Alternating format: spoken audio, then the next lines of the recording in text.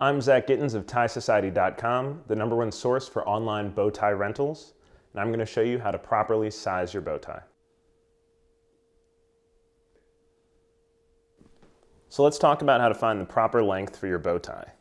So most bow ties come with an adjustable clasp. You can easily adjust it by undoing it, and then you'll see that there's a nice sizing chart along the length, and just find the right size for you. For example, our friend here, his collar size is 15 and a half. So on this bow tie, we're gonna find 15 right here, and then go up to a half right there. Then we're gonna fit, fit this tab into the notch at 15 and a half. Now we just pull it tight, and now we know that the length of this bow tie is perfectly matched to the collar size of this shirt. Then you just tie your bow tie. You're all set. So now that we've got the sizing set, you just want to get the right end of the bow tie a little longer than the left. Pull it over, up and through.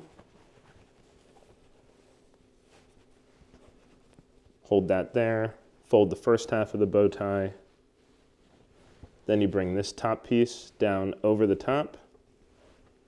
And the secret trick with tying bow ties is you need to pass this back end through this little hole right here to complete the knot.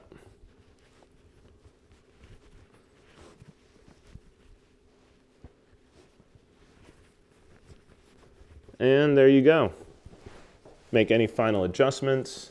We know this is the perfect size for our collar because we made the adjustment in the beginning. Fold your collar down and you are all set. Making sure you have the right sizing on your bow tie ensures that you have a clean look and a proper fit. Now, if you happen to have a bow tie that doesn't have the sizing on the back, don't worry. You can always tie the knot first and then make adjustments at the end.